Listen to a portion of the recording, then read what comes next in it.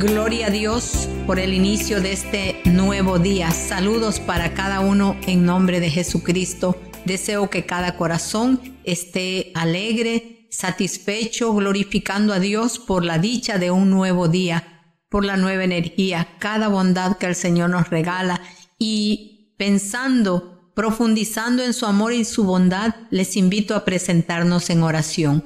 Bondadoso Padre, Dios de misericordias, delante de ti, te adoro, te glorifico y bendigo tu nombre por cada una de tus misericordias. Perdona, Dios mío, mis pecados, que no haya nada que impida que esta oración entre a tu trono de santidad.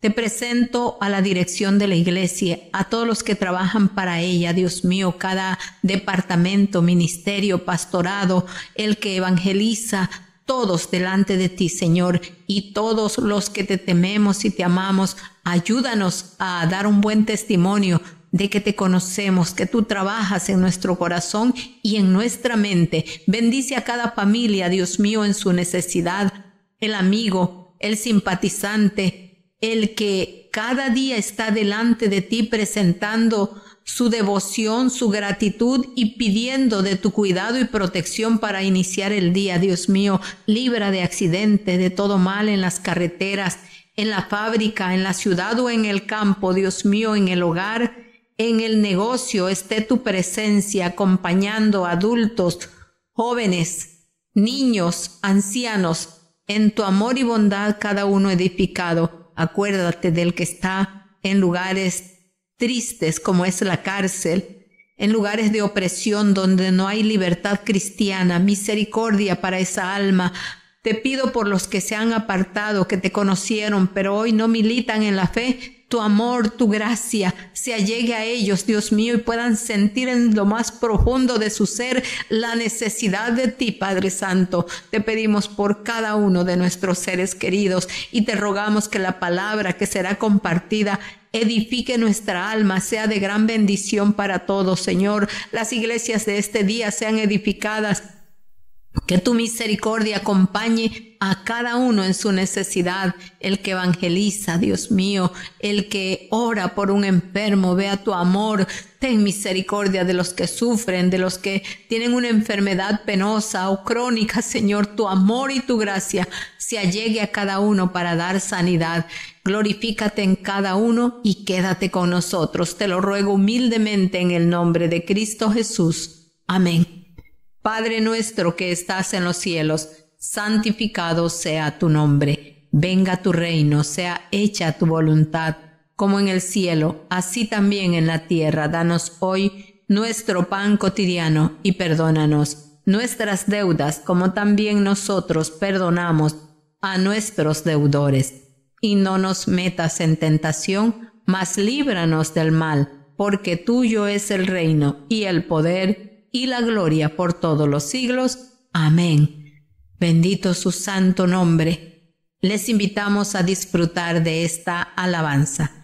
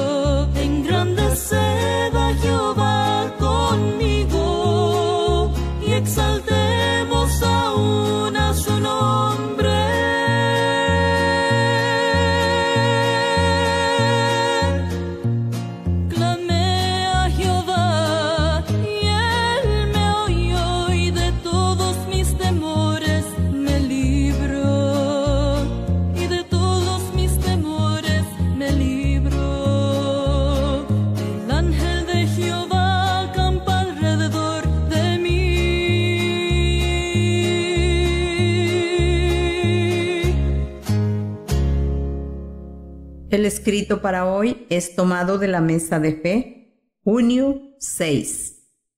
Escuchamos. Jehová está en su santo templo.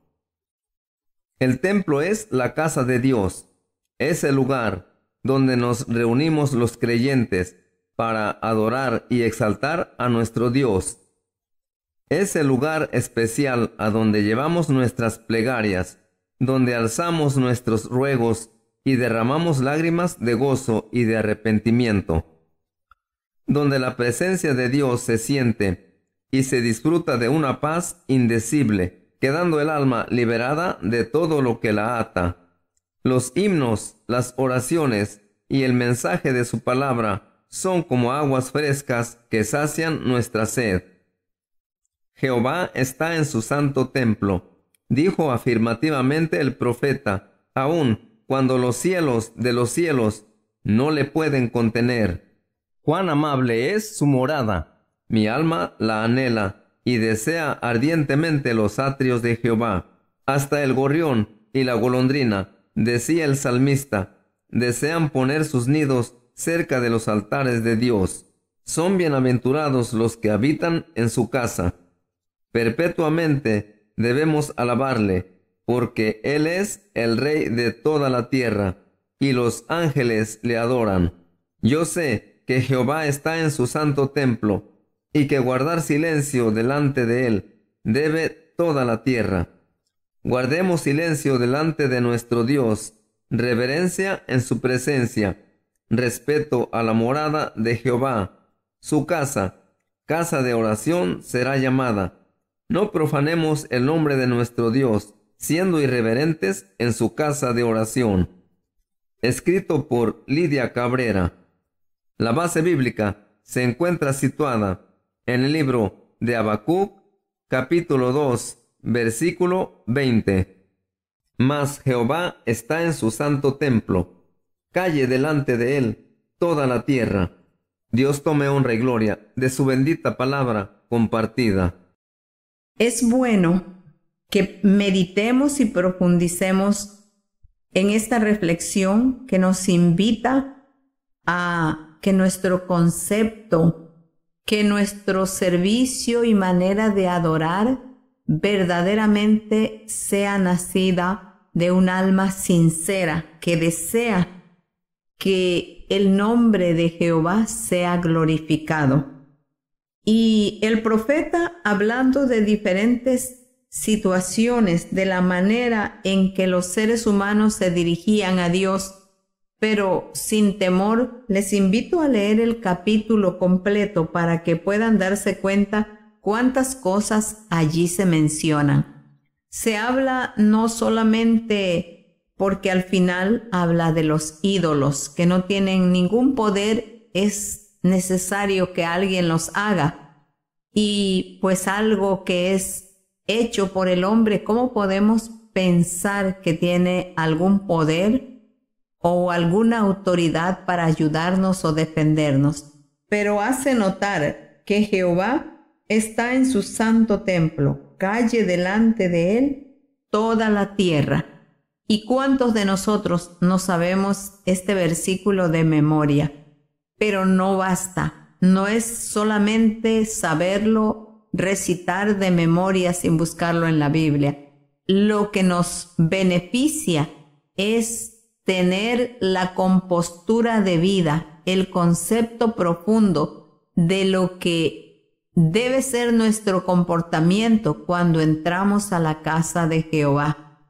Que se sienta honrado, que se sienta respetado, que se sienta glorificado por nosotros sus criaturas, porque de otra manera, sería como un insulto, como una ofensa cuando no tenemos la compostura de vida, el temor santo, reconociendo que estamos en su casa. Les invito también a profundizar en el escrito y que sea Dios el que trabaje en cada mente, en cada corazón, para que nuestros actos no solamente al entrar a la casa de Jehová sean puros y limpios, como dijera el siervo de Dios, levantad manos puras, limpias, sin iras, sin contienda, y de esa manera estaremos reconociendo al Dios maravilloso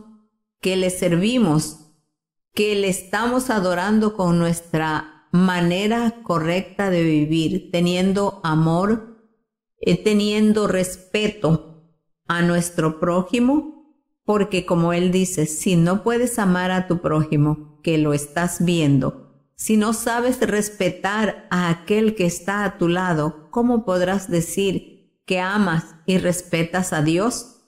Es para que meditemos y si de alguna manera nos damos cuenta que hemos fallado, que no hemos eh, comportado de tal manera como a Él le agrada, todavía estamos a tiempo para corregir esos malos actos, ese mal comportamiento que si llegaste tarde a la casa de Dios, entra con reverencia, calladito, no que todo mundo tenga que escuchar eh, tus pasos porque no tienes el mínimo respeto. Y bueno, cuántas cosas que si hasta hoy, porque no te había el Señor alumbrado tu mente y tu corazón, has entrado a la casa de Dios sin ese concepto que de ahora en lo adelante no solamente es si entramos haciendo ruido, es que hay en nuestra mente, que hay en nuestro corazón, cuál es nuestra manera de tratar a los que están a nuestro lado, le estamos honrando, le estamos sirviendo como a Él le agrada, porque si nuestro corazón allí en la casa de Dios está maquinando el mal para el prójimo o cómo aprovecharse de alguien, podremos decir que estamos honrando a Dios y que estamos reconociendo que Él está ante su santo templo y que nosotros le estamos honrando. Meditemos en esto y no vayamos a caer en el pecado, en la tentación y si hemos caído, acordémonos, abogado tenemos para con el Padre a Jesucristo y es hora de arrepentirse. Te invito a meditar en su palabra porque es ella la que nos corrige. Salmos capítulo 38 hasta el 40. Que el amor de Dios, la gracia y la paz de Jesucristo nuestro Salvador, la compañía y la comunión del Espíritu Santo, nuestro gran consolador, sea con cada uno de sus hijos desde ahora y para siempre. Amén. Su hermana y amiga Rosa Hernández desea para todos un bendecido día en la fe de Jesucristo. Hasta mañana.